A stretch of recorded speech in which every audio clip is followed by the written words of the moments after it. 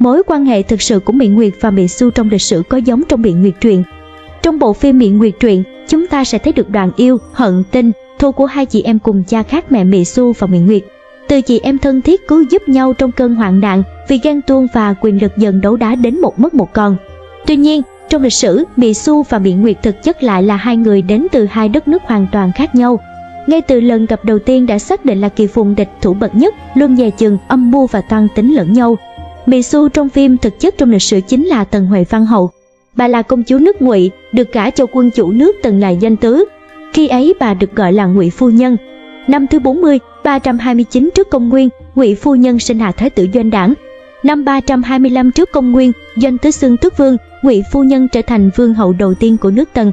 Tuy nhiên, sự xuất hiện của một tông thất nước sở tên Mỹ Nguyệt đã làm thay đổi hoàn toàn cuộc đời của bà. Mỹ Nguyệt là đệ nhất tài nữ của nước sở, được dâng lên cho Tần Huệ Văn Vương. Với tài trí hơn người, Mỹ Nguyệt nhanh chóng chiếm được độc sủng của Tần Huệ Văn Vương, thậm chí còn cùng ông thảo luận chính sự trong thư phòng. Điều mà trước đến giờ Tần Huệ Văn Hậu chưa bao giờ được phép. Vừa nhập cung, Mỹ Bác Tử đã nhanh chóng sinh cho Tần Huệ Văn Vương hoàng tử Doanh Tắc, rồi liên tiếp hai hoàng tử khác nữa. Doanh Tắc từ nhỏ đã vô cùng thông minh, khiến Tần Huệ Văn Vương vô cùng yêu thích. Doanh đảng con trai của Tần Huệ Văn Hậu lại là một kẻ cục mịch ngu ngốc. Vì thế, tin đồn về việc phế trưởng lập thứ ngày càng lan rộng.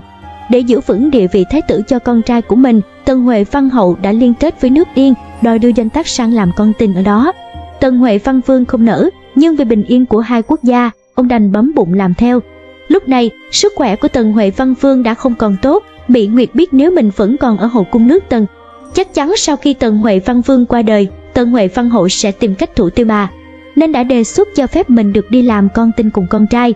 Đúng như dự đoán, không bao lâu sau, Tần Huệ Văn Vương qua đời. Doanh đảng lên ngôi với niên hiệu Tần Vũ Vương, Tần Huệ Văn Hậu trở thành mẹ của Vương.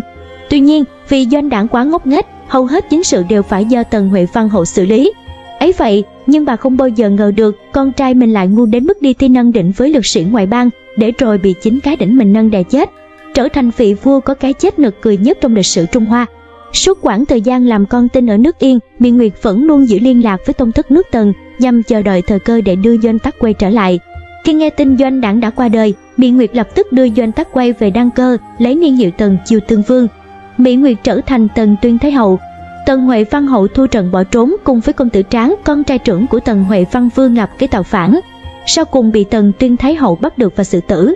Mỹ Nguyệt trở thành vị Thái Hậu quyền lực, nhiếp chính cùng con trai suốt 35 năm và thọ đến 93 tuổi. Dù cuộc đời bà trải qua nhiều biến động, cùng những sự kiện không hay như lợi dụng người tình để chiếm lấy tộc nghĩa cư, rồi giết cả con trai chung của bà và người ấy. Nhưng những cống hiến của bà cho Tần quốc là không thể phủ nhận. Nước Tần dưới thời cai trị của Tần Tuyên Thái Hậu được đánh giá là hùng mạnh, khiến các nước chư hầu phải e sợ. Trong lịch sử Trung Quốc, Tuyên Thái Hậu là người phụ nữ đầu tiên lấy thân phận mẹ của vua mà tiến hành nhiếp chính một cách công khai. Bản thân Tuyên Thái Hậu cũng là vị nữ chúa đầu tiên trong lịch sử các nước Hán quyển thực hiện căn chính từ hậu cung, là tiền đề và hình tượng lớn, cho cả lưỡng hậu, võ tắc thiên hay từ hy Thái Hậu. Danh xưng Thái Hậu do duyên cố của Tuyên Thái Hậu mà bắt đầu về sau đều dùng để gọi các mẫu hậu của vua chúa, trở thành một trong những danh vị quyền lực nhất trong văn hóa Đông Á.